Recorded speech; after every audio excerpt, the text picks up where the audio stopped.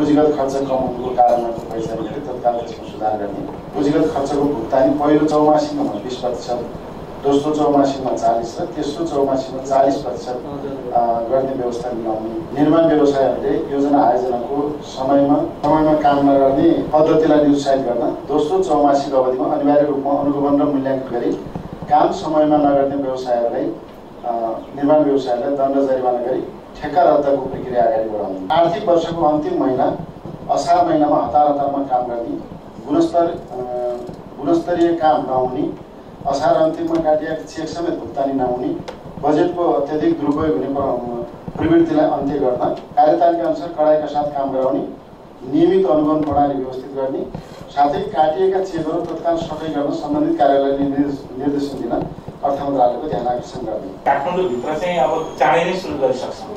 भुक्तानी सम्बन्धित पार्टीको भेन्डरको खातामै जान्छ। चेक काट्नै पर्दैन। सोझै डिजिटल ट्रान्सफर हुन्छ। त्यो सिस्टममा काम गरिरहेको छ उदाहरण यहाँ त्यो भयो भने छिटो हुन्छ। अब सडचालिस आठ गतेसम्म हो। अलिक घटिए पनि होला। हामी अब यो बिचमा एक महिनाभित्र फेरि अर्थ समितिमा हुन्छ। भेट पनि हुन्छ। मान्यज्यूहरूसँग सभापतिहरूसँग हामी अवगत गराउँला यसमा रिफर्म चाहिँ आवश्यक छ। यो चेक दिने प्रणालीमा।